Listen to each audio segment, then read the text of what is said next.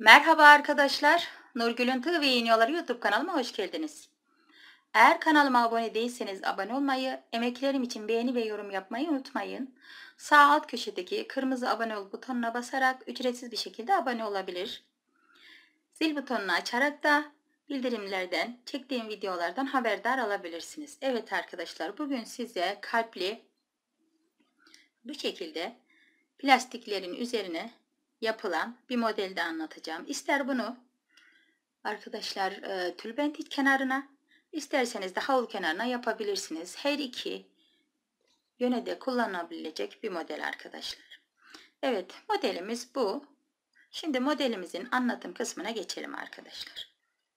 Evet şimdi iki tane bu, bu şekilde buraya bir zincir çekerek ipimi tığıma tutturdum. Bir tane arkadaşlar bu şekilde kalp kısmından başlıyorum. Kalp kısmı bize bakacak arkadaşlar. Yani oyuk kısmı. Buraya sık iğne ile ipimi bu şekilde tutturuyorum. İpimi şu uç köşeye kadar getireyim arkadaşlar. Bu ipimi de şöyle 5-6 kez arkadaşlar üzerine sık iğne gidip burada yanık izi olmasını engellemek istiyorum. Temiz bir çalışma olsun. Sayısı yok. Herhangi bir sayı yok. Bu şekilde üzerlerine batarak sadece bu plastik kısmını dolduruyoruz arkadaşlar. Bunu keselim artık yeterli arkadaşlar. Buradan kestim. Hafif de bir yapıştırayım plastiğine. Bu şekilde her yerini dolduruyoruz sık iğne ile arkadaşlar.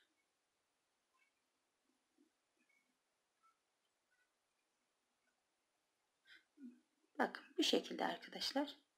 Şöyle tiftiklemekten, tiftiklemeden temiz bir şekilde yapmaya çalışalım inşallah.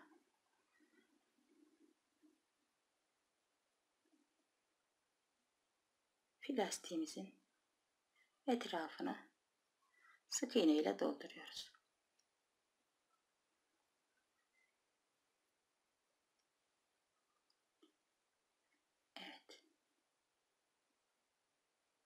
Şöyle bir arada göstermek istiyorum nasıl olduğunu görmeniz için arkadaşlar. Çok da zevkli, kolay bir şekilde de doluyor. Hemen doldurduk. Bu şekilde.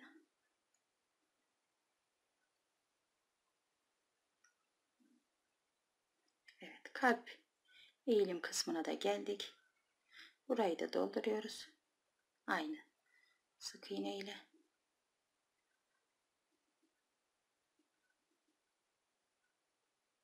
Burayı arkadaşlar şöyle önemli değil. Şöyle biraz fazla doldurup şöyle birleştirivereceğim.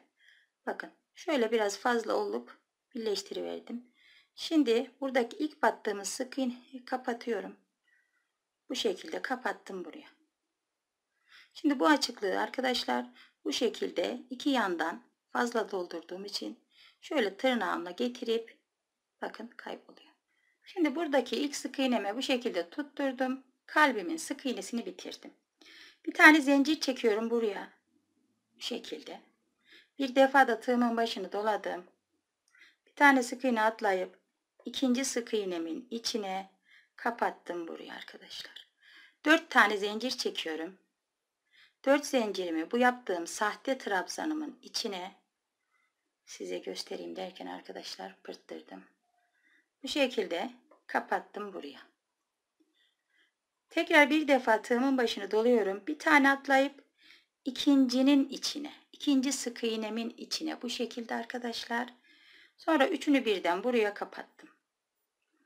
Tekrar 4 zincir kapattım buraya. Kirpik olarak.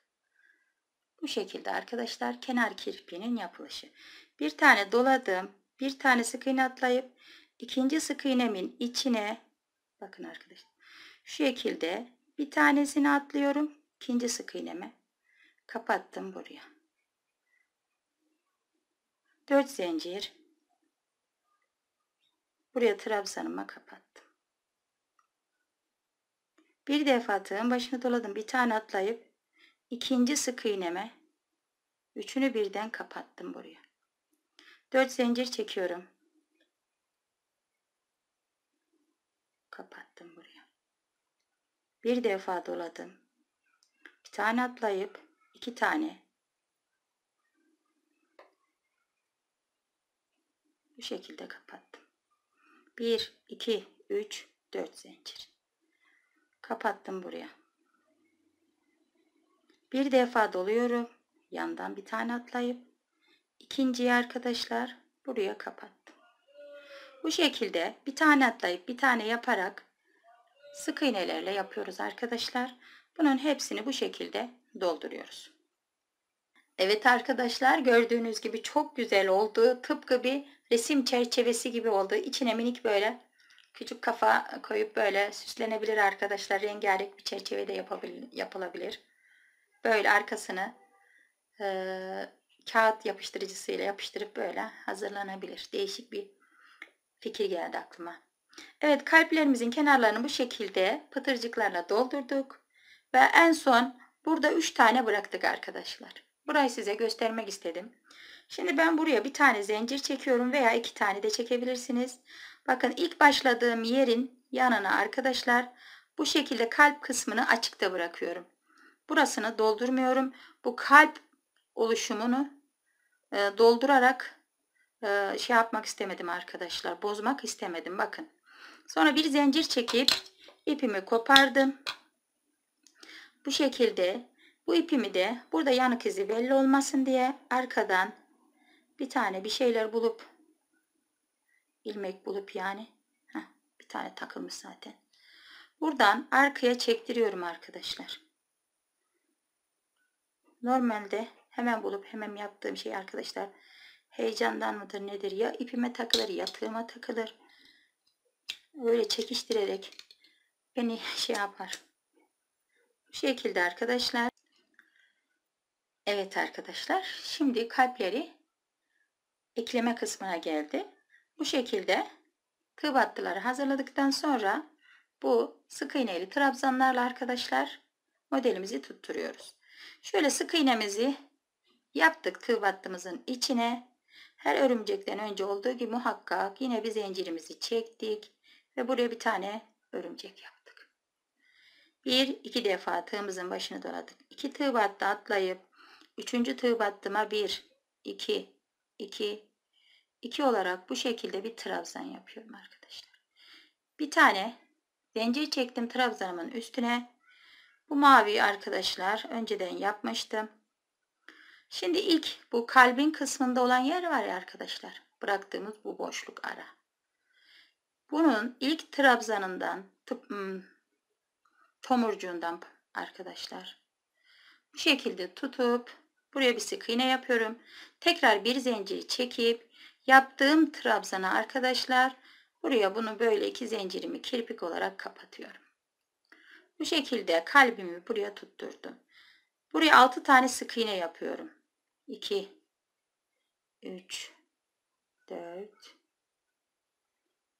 5 6 Şimdi arkadaşlar bu örnek bezinde olduğu için kendini pek göstermeyebilir ama böyle yemenimizin siyah bir yemenin içinde mavi, turuncu böyle içindeki renklerden yaparsanız çok şahane, çok güzel bir model olarak kendini gösterecektir. Burada e, öğrenim amaçlı olduğu için arkadaşlar sizlere göstermek istedim. Yine örümceğimizi yapıp tığımızı iki defa dolayıp üçüncü tığ battıma bir iki iki iki olarak bu şekilde yine bir trabzan yapıp bir tane de zincir çektim. Şimdi öbür tarafındaki karşısındaki yani pıtırcığımızdan bu şekilde kapattık. Bir de zincir çektik arkadaşlar. Evet bu şekilde. Şimdi aynısını birinci trabzanda yaptığımızı buraya da yapıyoruz. Sık iğne ile kapattık. 6 tane sık iğne. 1 2 3 4 5 6 Evet arkadaşlar hemen yandaki tığ battı yapıyorum ki şuraya destek olsun arkadaşlar. Tekrar Şimdi ara suyuna geçiyoruz. Bu arasında iki tane bıraktım. Örnek amaçlı olduğu için arkadaşlar. Siz bunu 3, 4, 5 bırakabilirsiniz. Fazla aralıklı olmasın arkadaşlar. 3, 5. 5'ten fazlası güzel durmaz. Şimdi tekrar zincirimizin üzerine bu şekilde örümceğimizi yapıp iki defa tığımızın başını dolayıp iki atlayıp üçüncü tığ battıya bir, iki, iki, iki olarak buraya kapattım.